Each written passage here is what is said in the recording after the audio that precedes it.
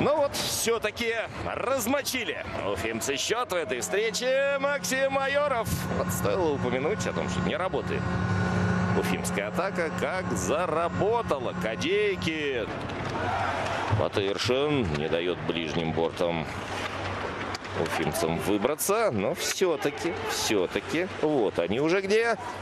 С лету пытался шайбу в ворота переправить. Майоров, все тот же неугомонный это был. А теперь Ларсон и 2-2. Счет сравнялся и уфимская группа поддержки ликует. Ну, кто-то не верил, что ли, что у Ларса бросок есть. Вот он, пожалуйста, его демонстрирует, а показывает нам Амирова. Он там изменил таки направление полета шайбы.